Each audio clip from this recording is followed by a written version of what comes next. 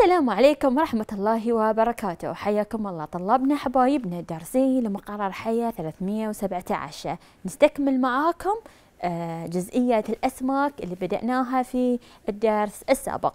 اليوم بنكمل على الأسماك الجزء الثاني مع أهداف جديدة بإذن الله راح تتحقق. أهدافنا لحصة اليوم نلخصها بمجموعة من النقاط المهمة.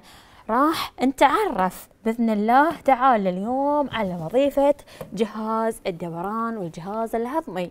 وراح نفسر كيف تنظم الأسماك اتزان الماء والأملاح داخل جسمها. راح نقارن ما بين أجزاء الدماغ المختلفة ووظيفتها وبنشوف التكيفات اللي تمكن السمكة أنها تتحرك بسهولة في الماء. نشوف هني جهاز الدوران. الأسماك تميز أن عندها جهاز دوري مقلق يعني مر الدم داخل أوعية دموية مقلقة. متذكر لما نقول جهاز دوري مقلق درسناه في الرخويات اللي كان عندها جهاز دوري مفتوح ومغلق مفتوح كانت رخويات بطيئة الحركة والمقلق رخويات سريعة الحركة. المهم نركز على الأسماك اليوم. الأسماك قلنا عندها قلب وهذه هو شكل القلب.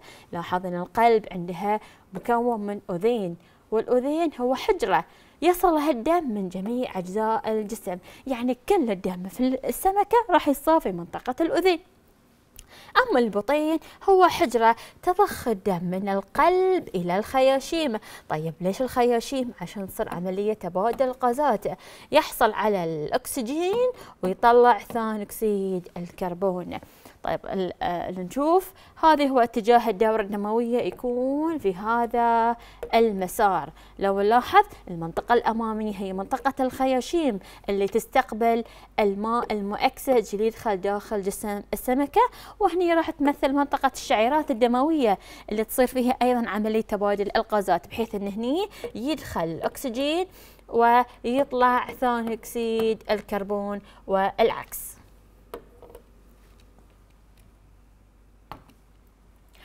التغذية والهضم. كيف تتغذى؟ الأسماك. تتغذى بثلاثة آه، آه، طرق. ممكن تكون تصفية ممكن تكون ترمم ممكن تكون افتراسة إحنا نعرف كلمة تصفية يعني ترشيح يعني تحصل الغذاء من خلال تصفية الماء.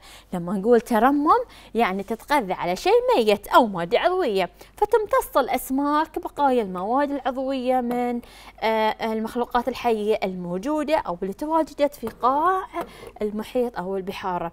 المفترسة لاحظ مفترس يعني عندها فكوك وهذا الفكوك تساعدها على الإمساك بالفريسة مثل ما نشوفها في المفترسات مثل سمك القرش وغيرها. بعض الأسماك لو نشوف في جهازها الهضمي عندها ملحقات آه، مثل الأكياس البوابية وعندها الكبد والبنكرياس والمرارة. ما وظيفة الأكياس البوابية. أساسا أكياس بوابية وين موجودة موجودة ما بين المعدة والأمعاء. لو نركز مع بعض على الصورة نشوف وين المعدة؟ هذه هي المعدة. والامعاء لو نلاحظ موجودة في هذه المنطقة. نلاحظ أن هناك أكياس. هذه الأكياس وظيفتها أفراز إنزيمات هاضمة وبنفس الوقت تمتص الغذاء. لما تمتص الغذاء وين راح تودي؟ تودي إلى مجرى الدم.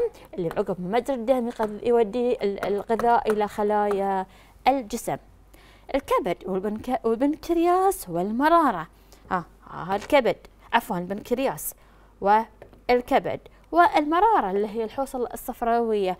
وظيفتها بعد تفرز العصارة الهاضمة. وظيفتها أن هي التمام عملية الهضم واستكمال الهضم بحيث أن السمكة تستطيع الحصول على آه، الغذاء أو المحتوى الغذائي. نشوف عملية الإخراج. لما نقول الإخراج لازم تذكر على طول الكليتين. والفضلات اللي تخرجها. فنلاحظ أن الأسماك عندها كليتين والكليتين عملية تنقية الدم من الفضلات. ووحدة الوظيفة الأساسية في الكليتين الموجودة عند الأسماك هي النفرون. طيب ما هي وظيفة النفرون؟ النفرونات ليست مقتصرة على أن هي تنقية الفضلات وإنما أيضا تحافظ على الاتزان المائي والملحي الموجود داخل الجسم. بالإضافة أنها تخلص من الفضلات الخليوية الموجودة في الدم. إذا على تساعد على اتزان الماء والأملاح وأيضا تصفية الدم من الفضلات. لاحظ أن هي وظيفتها مقاربة للكرياتين في الإنسان. الدماغ والحواس كيف تستشعر السمكة بالتغيرات المحيطة فيها؟ لو نلاحظ في بداية بداية المقرر درسنا عن الإسفنج واللاسعات والديدان. هذه المخلوقات الحية ما عندها جهاز عصبي فقط مقتصرة على شبكة عصبية وبعدها تو صار عندها عقد عصبية وحبال. لما دخلنا في طائفة الأسماك اللي هي من الحب الشعبة الحبلية الفقارية صار عندها جهاز عصبي.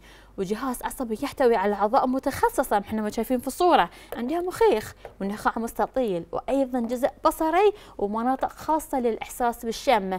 فبشكل عام عندها حبل شوكي وعندها دماغ لاحظ التطور الموجود في جسم المخلوقات الحية اللي إحنا ما شفناه سابقا. الأسماك تعيش في وسط الماء وسط تيارات مائية.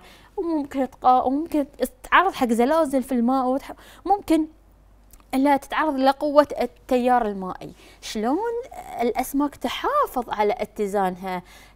تحافظ على اتزانها من خلال تركيب اسمه الخط الجانبي. لاحظ كما أنا أوضح لكم هذه اسمها الخط الجانبي. طيب ما وظيفة الخط الجانبي لو نقولها إن هي تساعد السمكة على اكتشاف الحركة في الماء ويساعدها إنها إنها تكون إن هي تبقى معتدلة ومتزنة وتستطيع التحرك في رقم هذه الظروف المائية. شكرا على حسن متابعت متابعتكم لنا. ونلقاكم إن شاء الله في الدرس القادم من دروس مقال الحياة 317 أتمنى أن تستفدتوا. ونراكم إن شاء الله ومع السلامة.